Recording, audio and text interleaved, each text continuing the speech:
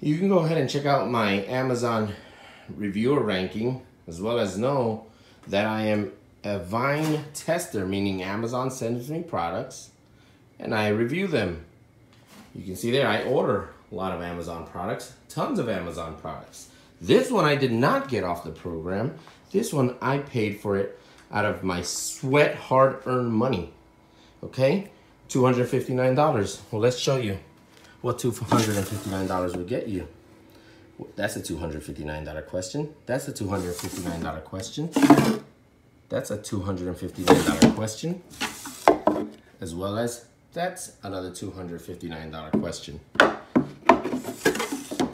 Real poor craftsmanship for $259 and it hasn't moved. Uh, this is where I left it. This is where I assembled it. And I've assembled tons of stuff five years ago and it's not broken. So I know I didn't over tighten anything. Everything is perfect. I have the proper tools to do it, but that was not my fault.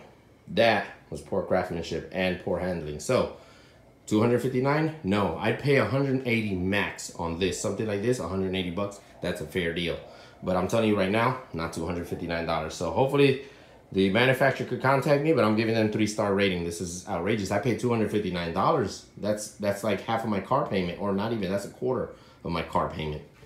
259 bucks. Three stars that's all they're gonna get. Sorry